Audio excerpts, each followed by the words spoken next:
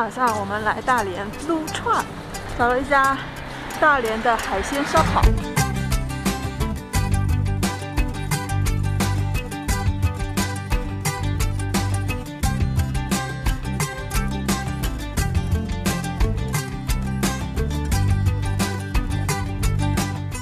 今天是我在大连的最后一天了，我想最后一天了，怎么着也得吃顿好的吧。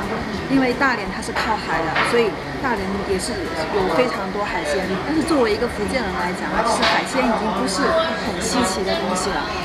不过呢，我还是想尝一下大连海鲜的味那。边的环境啊还是不错的。然后因为我一个人来嘛，啊，店家还是给我升起了这个小炭炉。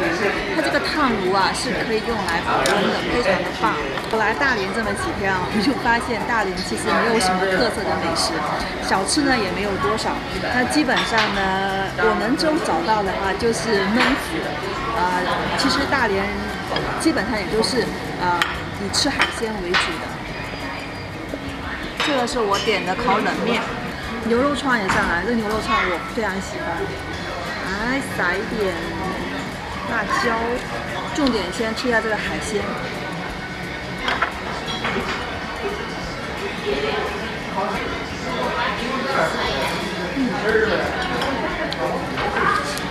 好吃的好吃的，免费就是有一种贝壳，然后它把中间的肚子啊什么都清理干净了，然后再串成串烤一下。烤猪蹄，烤扇贝。我刚才进场就发现他们这边的扇贝肉特别大。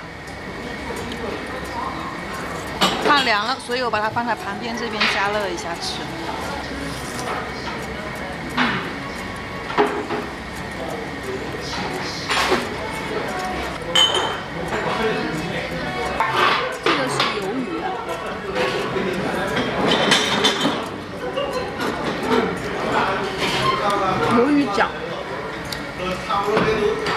鱿鱼饺他们把它这样子串起来。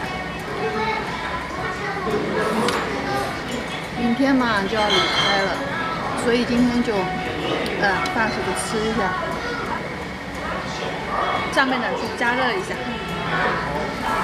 这个就比较平常了，就很多烧烤摊都有的，豆腐皮烤生菜。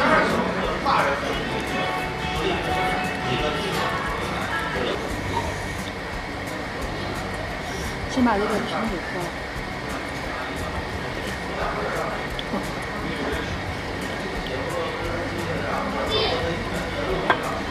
鲜啊！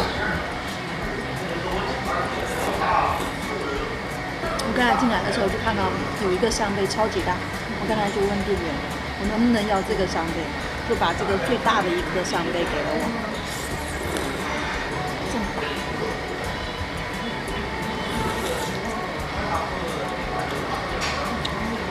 上面的肉特别的肥厚。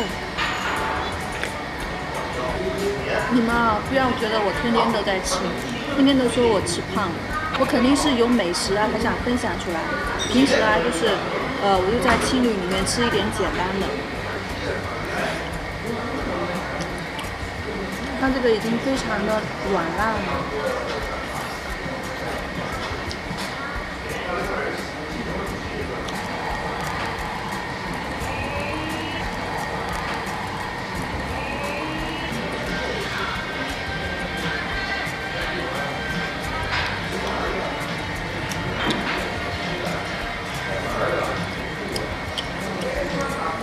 而且我刚才点了十串的牛肉，好像才二十块钱。跟你们说啊，我点了一份冷面，本来是用来解腻用的，没有想到这么一大碗。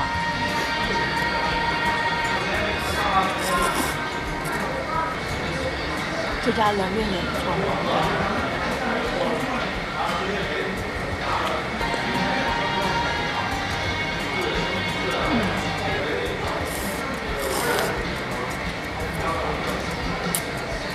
今天大连海鲜烧烤的视频就分享到这了。